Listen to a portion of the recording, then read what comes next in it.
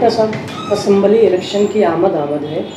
और लोगों का इस बात को लेकर के तजस्स था कि खानवाद यूनुस ईसा किस तरफ़ रहता है, किसके साथ रहता है या उम्मीदवारी करते हैं। लेकिन अब वो बात, यानी थोड़ा साफ़ होती हुई नज़र आ रही है कि खानवाद यूनुस ईसा जो है मुफ्ती इस्माइल के साथ रहेगा। उन्होंने भी इस बात के इजार एक प्रेस कॉन्फ्रेंस में इशारतन किया। इस बात में कितनी सच्चाई है, खानवाद यूनुस ईसा किधर रहेगा? देखिए आमिर भाई हम लोग तकरीबन 10 साल से मजलिस इत्यादुल मुस्लिमीन के साथ जुड़े हुए हैं। मजलिस इत्यादुल मुस्लिमीन के नज़रिए के साथ जुड़े। इस दरमियान शहर की कई सियासी पार्टियों में जो है लीडरशिप का जो है, कमी आई।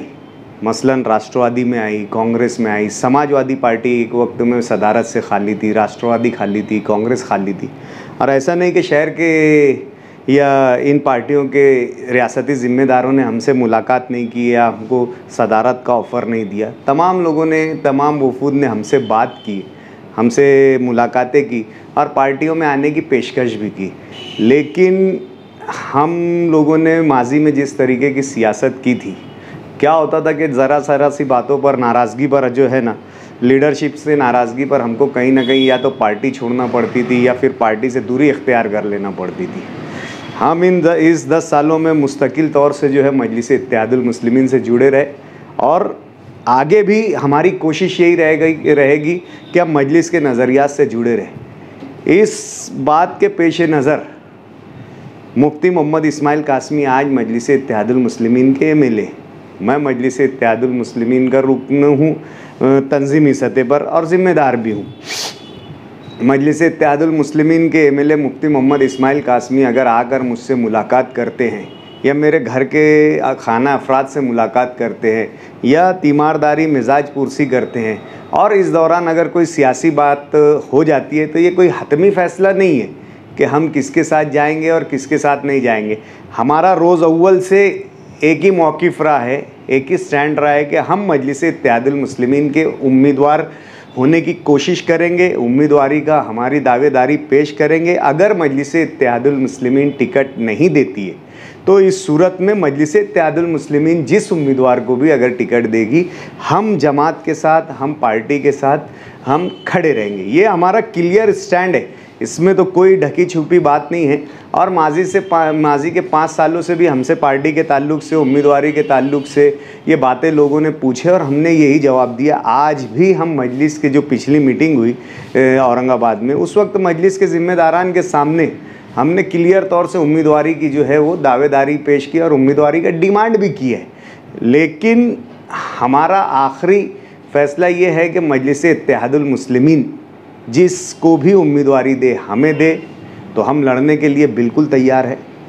और मुफ्ती इस्माइल को अगर देती है, या मुफ्ती इस्माइल मजलिस इत्तेहादुल मुस्लिमीन में रहते, या एक्स वाई जेड और कोई भी दूसरा अगर आ जाता है तो ज़ाहिर सी बात है, एक नज़रिए का पाबंद होने की सूरत में, एक पार्टी के ज़िम्मेदार होने की हैसियत से में हमें साथ रहना है, ये बात है। लेकिन मुकामी सियासत को लेकर भी मुफ्ती इस्माइल से हमारी कुछ शिकायतें रही और कुछ नाराज़गी भी रही। इस दौरान आई इस मुलाकात के दौरान उस बातों पर चर्चा भी हुआ। लेकिन हर त, हर दफ़ा की तब हर टाइम की तरह इस टाइम भी जो है वो जवाबात आए। खैर हम सियासी लोग हैं हमें सियासत में रहना है।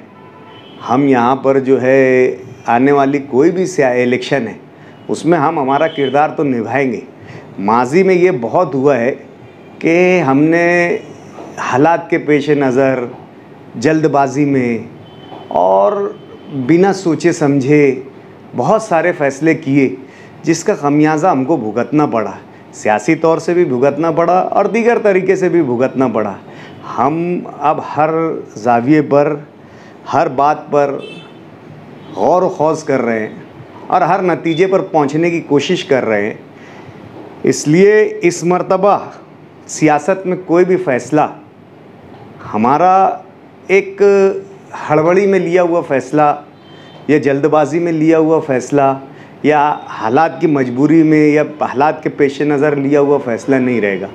ये फ़ैसला जो होगा, ये हमारा भी मुस्तकबिल तय करेगा, हमारे भी दीगर बातों का मुस्तकबिल तय करेगा। हमने भी अब बहुत अच्छी तरीके से सब चीज़ को सोच लिया है। अब भी इंशाल्लाह इक्कीस को तीन में तकसीम करने की सियासत है, इंशाल्लाह हम भी करने की कोशिश करेंगे। हालात बहुत कठिन रहे हमारे लिए। हम माजी में, अभी माजी करीब में जो हालात थे, वो बहुत कठिन हालात रहे। लेकिन हालात से हम भी हर मरतबा उभरे। और हमने बहुत जगह जो है ना, दरगुजर का मामला किया सियासत में। कई मरतबा जो है बातों को सियासी नुक़ नज़र से देखने के बाद उसका अच्छा बुरा समझने के बाद या ना समझने के बाद भी मामला को दरगुजर किया है। अब जो मौका होगा, अब जो फ़ैसला होगा, अब जो कदम होगा, वो हमारे लिए इंतहाई ज़रूरी और इंतहाई अहम फ़ैसला होगा। इसलिए कोई भी फ़ैसला लेने से पहले हम हर हालात को अच्छी तरीके से टटोल रहे हैं।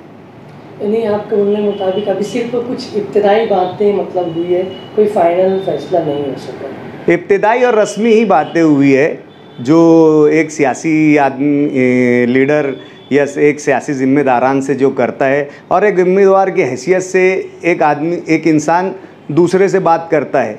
जैसे, एक रूटीन बात, आप लोग इस मरतबा उम्मीदवारी मत करो। हमने कहा कि आप मत करो। मिलकर लड़ते हैं। हमने कहा मिलकर लड़ो हमको उम्मीदवारी दे दो। माजी में जो जो तकलीफ़ें हुई वो वो तकलीफ़ें हमने बयान किए लेकिन हतमी तौर से कोई फ़ैसला नहीं हुआ है। कोई बातचीत मुकम्मल तौर से हमारी जो है वो हुई नहीं है इस ताल्लुक़ से। लेकिन मौक़ वो अटल है बात अटल है कि उम्मीदवार मजलिस का जो भी होगा हम उसके साथ रहेंगे। अगर हम, मजलिस हमें उम्मीदवारी देती है तो हम उम्मीदवारी करेंगे। कुछ अफवाहें इस तरह भी चल रही है कि कुछ सौदेबाजियाँ या कुछ बातें हो रही हैं कि मेयरशिप हमें चाहिए, कुछ पैसा चाहिए, ऐसे कुछ है। सियासत में हर बातें जो है ना, होती है। और इस तरीके की बात करता कौन? इस तरीके की बात और अफवाहें फैलाता कौन? जो इनकी सियासत इस तरीके के मामला में लिपित रही है माजी में।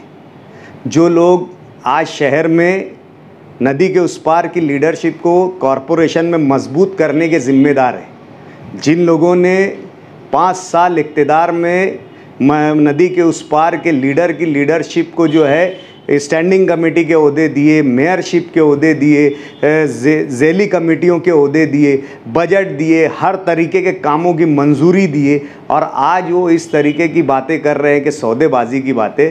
सियासत है, सियासत में मुफाद भी रहता है और सियासत में जो है ज़रूरतें भी रहती है।